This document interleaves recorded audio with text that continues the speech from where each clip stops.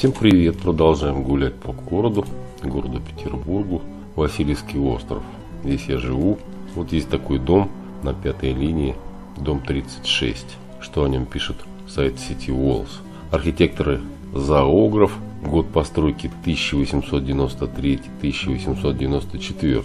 Дом 36 оставался деревянным почти до конца 19 века. В 1793-1894 годах по проекту архитектора зоографа возвели каменное трехэтажное здание. В 1899 надстроили четвертый этаж.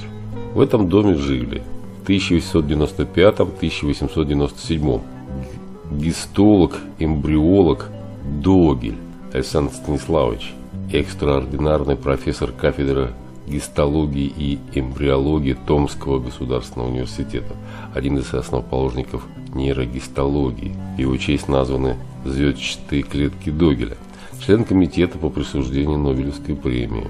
Жил здесь архитектор Зигерберг 1980-е годы, архитектор Мартыновский в 1902 году, физиолог Ивановский Дмитрий Иосифович, русский физиолог растений и микробиолог, основоположник вирусологии, ученик Фоминцина Андрея Сергеевича, знаменитый ботаник, ординарный профессор Санкт-Петербургского университета, ординарный академик Императорской Санкт-Петербургской академии наук.